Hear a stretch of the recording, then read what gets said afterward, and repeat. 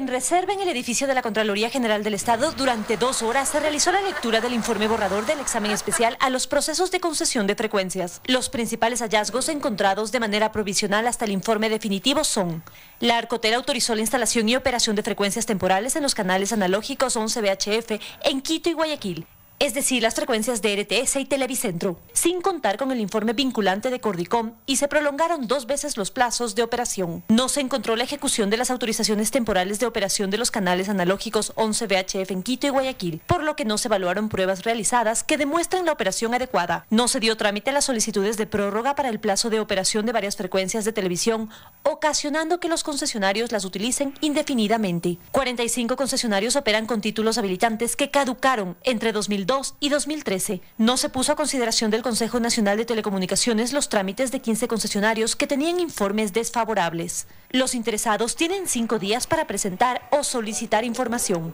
En Quito, María Gracia Costa, 24 horas.